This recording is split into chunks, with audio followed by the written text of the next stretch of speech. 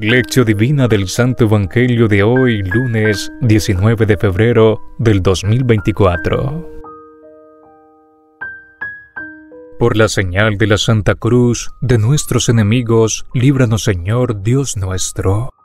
En el nombre del Padre, del Hijo y del Espíritu Santo. Amén. Hermanos, antes de iniciar la lectura orante del Evangelio que Dios nos regala en este día, pidamos la asistencia de su Espíritu Santo diciendo, Ven Espíritu Divino, manda tu luz desde el cielo.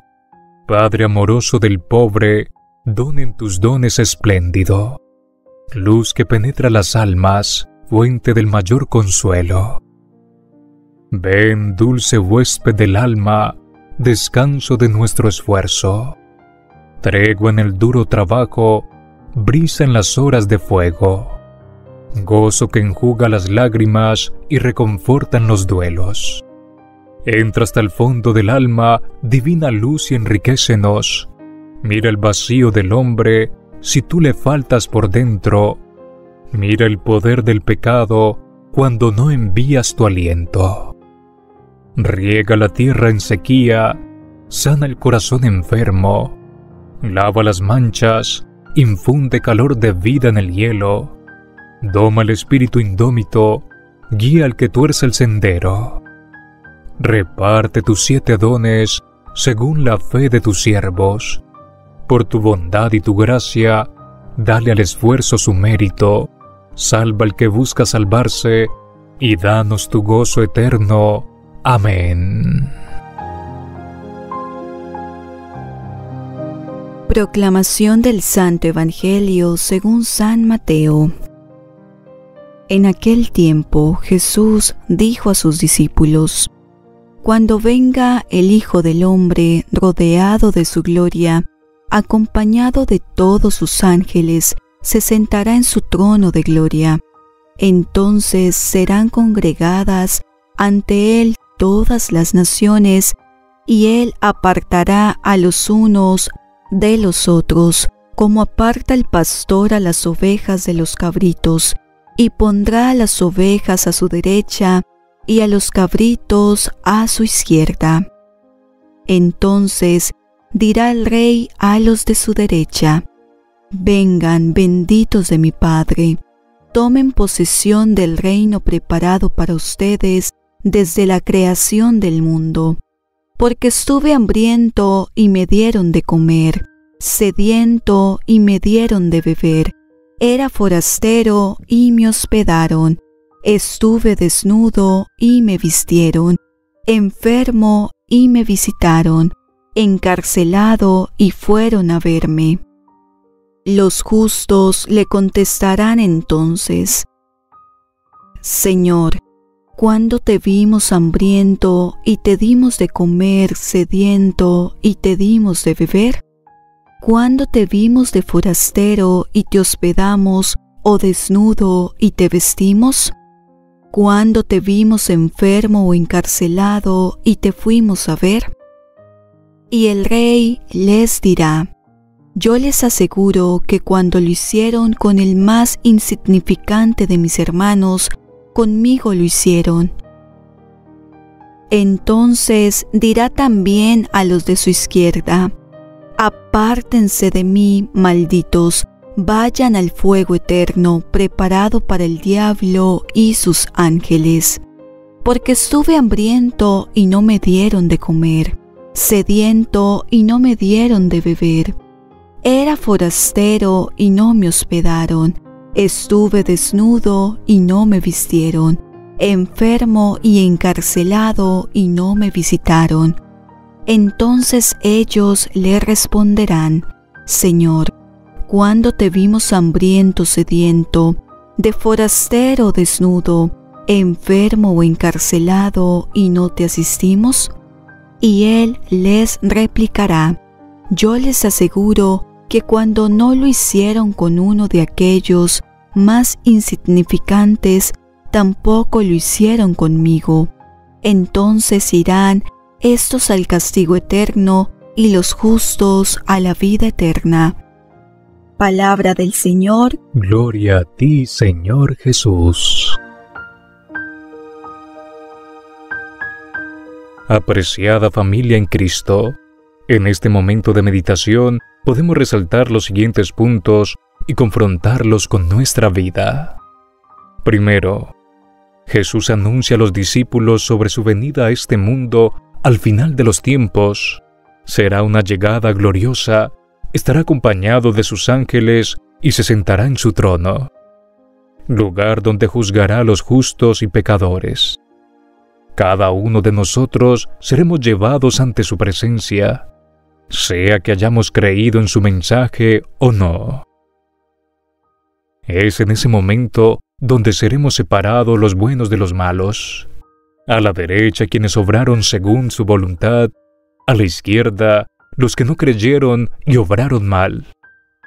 El Evangelio de hoy es un llamado a la conversión, una advertencia de lo que nos podrá suceder si no seguimos lo que Cristo ha venido a enseñarnos. Aunque muchos niegan el hecho de que habrá un juicio final, hoy el mismo Jesucristo nos lo confirma. Busquemos nuestra salvación ahora que estamos en esta tierra y a tiempo. Actuemos como Cristo nos enseñó Seamos misericordiosos y caritativos con nuestros hermanos. Preguntémonos, ¿creo en el juicio final? ¿Me estoy preparando para ese momento? Segundo, los que son puestos a la derecha serán llamados por el Rey y les entregará el reino que les ha preparado desde la creación. Todas las personas que han cumplido con los mandamientos que han realizado obras de misericordia, que han visto con amor y compasión a los necesitados, serán quienes gocen en este paraíso celestial. Por eso Jesús afirma que cada que hagan algo bueno, por el más insignificante, lo están haciendo con Él, porque Él está en todo aquel que sufre. Dar de comer al hambriento, de beber al sediento, dar posada al forastero, dar vestido al desnudo, visitar al enfermo y al encarcelado, son obras de caridad que Cristo recompensa. Estamos llamados a ponerlas en práctica, a buscar nuestro puesto a su derecha, obrando de manera caritativa, viendo con amor al necesitado. Preguntémonos, ¿de qué manera veo y trato a los más pequeños? Como tercer y último punto de esta meditación, el rey aparta a los que han sido puestos a su izquierda y los envía al castigo eterno, lugar que ha sido preparado por el demonio y sus ángeles. El no creer en el Evangelio, el dejarse llevar por el orgullo, por la ambición, la arrogancia, lleva al hombre a la perdición, al rechinar de los dientes, a la desesperación al fuego eterno. Qué duras son estas palabras, ser apartados del que nos da todo, del que es fuente de luz, de vida, es algo que causa mucho miedo y dolor. Todo por no compartir con el necesitado, por no mirarlo con compasión, por rechazarlo y dañarlo. Escuchemos esta advertencia del Señor. Cambiemos nuestra forma de ser Dejemos nuestros prejuicios, perdonémonos, amemos, preocupémonos por los que sufren. Comprendamos que el castigo eterno existe, que no hay nada peor que perder la pureza de nuestra alma. Finalmente preguntémonos, ¿he actuado con misericordia a lo largo de mi vida? Oremos. Señor mío, Despierta mi conciencia. Ayúdame a comprender en qué estoy fallando, qué me falta para ganarme tu gracia. Aumenta mi fe, Señor. Quiero estar a tu derecha, ser parte de tus elegidos y gozar de las bendiciones de tu reino. Dame un corazón amoroso y fiel, capaz de dar sin medida, de perdonar sin límites compasivo ante el sufrimiento de mi hermano. Te lo pido por los méritos infinitos de la sagrada vida, pasión y muerte de tu Hijo Santísimo Jesucristo nuestro Señor. Oh Espíritu Santo, recibe la consagración perfecta y absoluta de todo mi ser.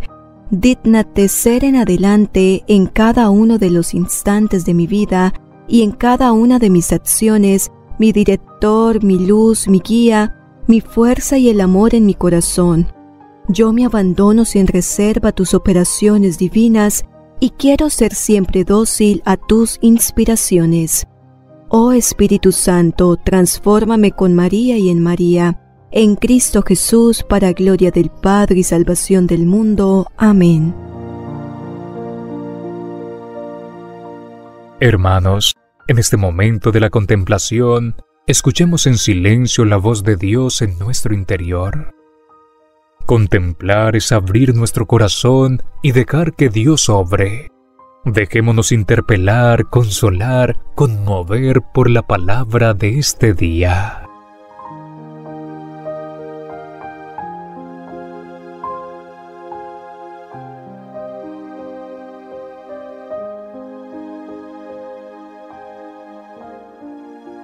En este último momento, estamos invitados a configurar nuestra vida con la persona de Cristo, a comprometernos a tomar las decisiones necesarias para vivir en sintonía con la palabra divina orada en este día.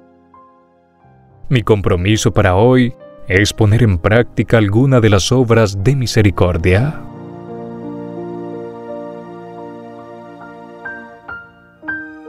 Amado Dios, te damos gracias por tu palabra, por tu evangelio. Ilumínanos, protégenos y bendícenos, en el nombre del Padre, del Hijo y del Espíritu Santo. Amén. Gracias por compartir este preciado tiempo de oración con nosotros. Suplicamos a Dios que todas sus intenciones sean atendidas y sus vidas renovadas por la palabra divina. Recuerda apoyarnos comentando, dando me gusta, y en especial compartiendo este video con tus contactos. Así podremos llegar a aquellas personas que más lo necesiten. Que tengas un lunes lleno de bendiciones. Te saluda tu hermano Daniel de tu canal Madre del Rosario.